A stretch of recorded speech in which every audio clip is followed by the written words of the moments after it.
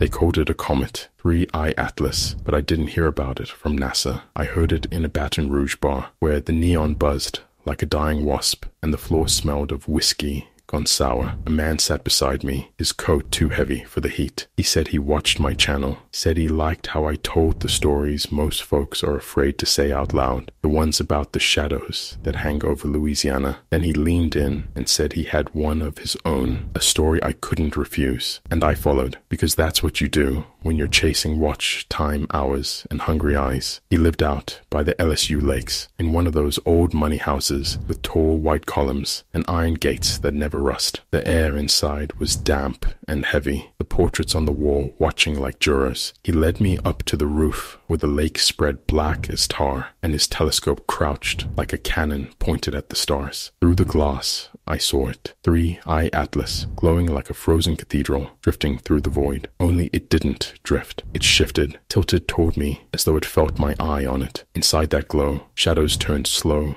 and deliberate, like gears grinding, like bones trying to breathe again. The man laughed, hollow and cracked, and whispered that they always send one first, a messenger. His hand lingered on the telescope, as if it had a pulse. I turned away before he could make me look again. The cicadas stayed silent as I walked back to the street, the night heavy as a coffin lid. Maybe it's a comet. Maybe it's the first scout of something older, something hungry. Keep watching the sky and follow me if you want the warning before the rest arrive.